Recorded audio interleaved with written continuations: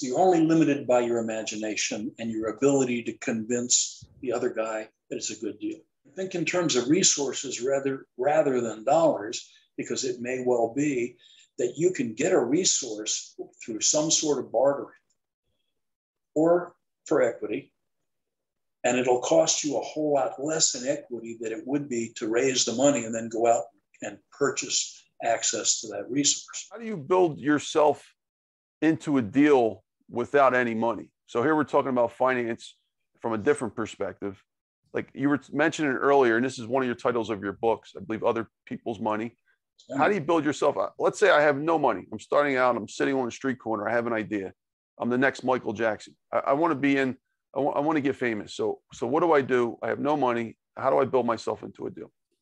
So let's let's assume a couple of things. One is that your idea is credible, that it makes sense, and you can communicate that, and people will believe you when you say it. Okay, so you can show them in essence, supporting evidence.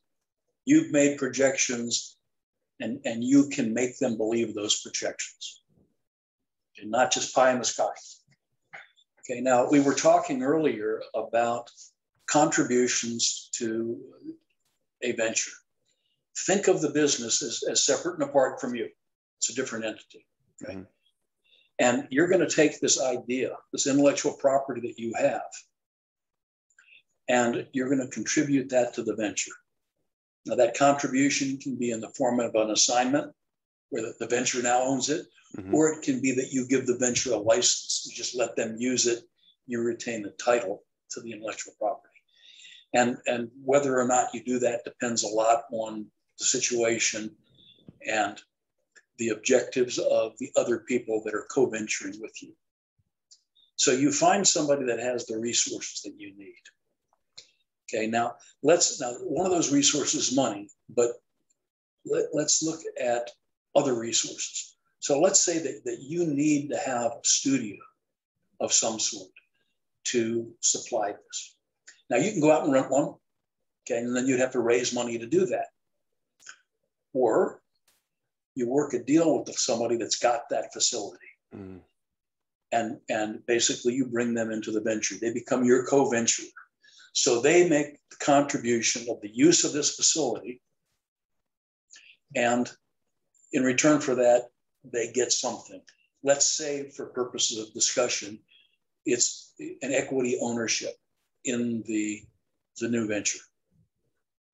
Doesn't have to be. It could be, you know, a, a sort of a royalty on products. It could be, um, you know, uh, some sort of a you know, a, a, percentage of any profits you make. It's you're only limited by your imagination and your ability to convince the other guy that it's a good deal.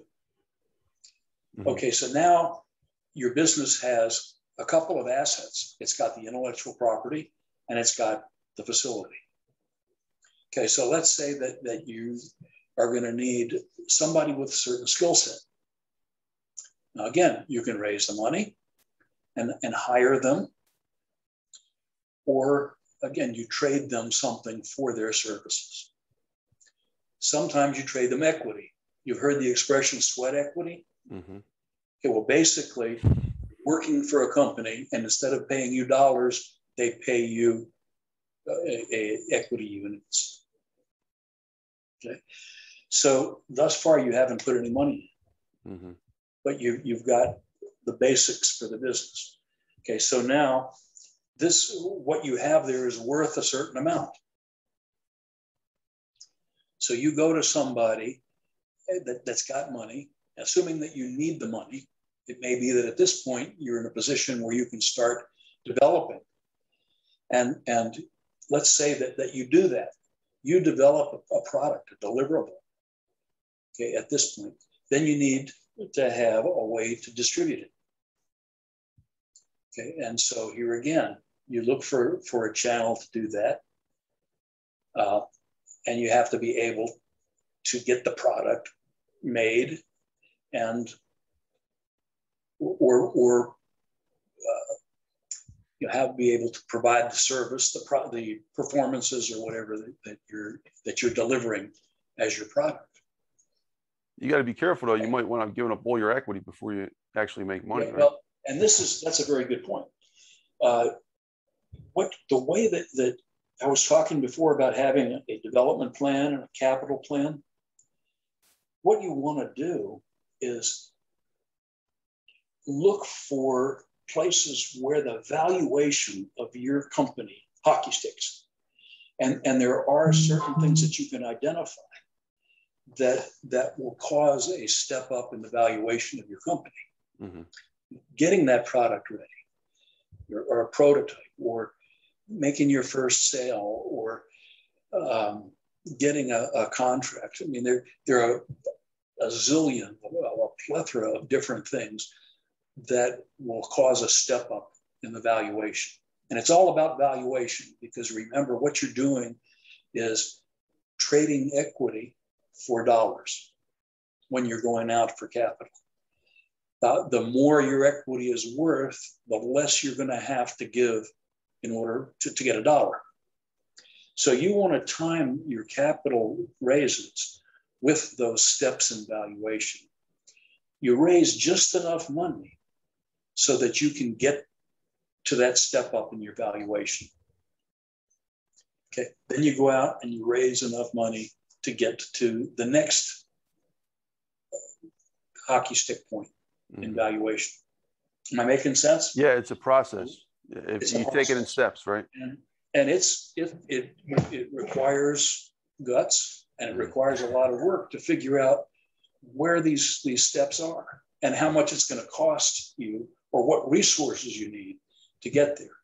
And again, think in terms of resources rather, rather than dollars, because it may well be that you can get a resource through some sort of bartering or for equity, and it'll cost you a whole lot less in equity than it would be to raise the money and then go out and purchase access to that resource. Yeah, it makes a lot so of sense. Just, it's just a change in mindset.